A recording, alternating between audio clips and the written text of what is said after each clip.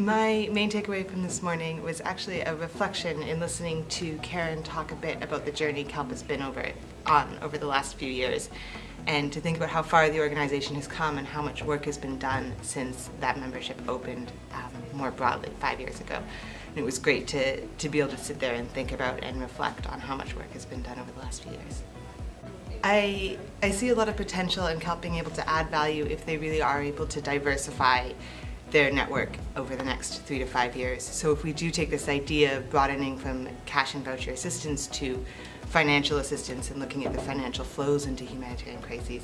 if they are able to be a network that does broaden membership to include the other types of actors and engage and, and move money through humanitarian crisis, I think that could be a real value add.